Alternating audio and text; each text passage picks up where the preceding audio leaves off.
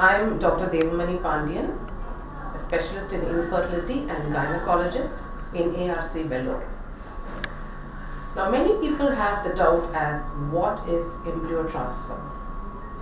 The process by which we place a well grown embryo into the uterus is called embryo transfer. And when do we do this transfer?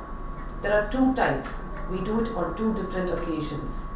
The first could be a fresh transfer, which is as soon as we retrieve the eggs, we give a few days for the embryos to grow, maybe a day 3 or a day 5 transfer. And mostly we freeze the embryos and then prepare the uterus and give a proper endometrium preparation and then place the embryo and this is called a frozen embryo transfer. So why do we have two different types and what is advantageous? Which one is more advantageous?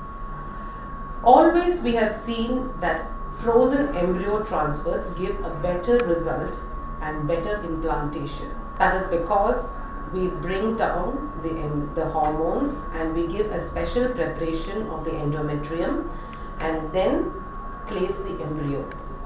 So when we give a proper preparation, the embryo and the endometrium will have a proper dialogue and the implantation gets better. And so the clinical pregnancy rate also increases. Of course, there are some occasions where we are forced to have a fresh transfer and in ARC we have also given good results in a fresh transfer.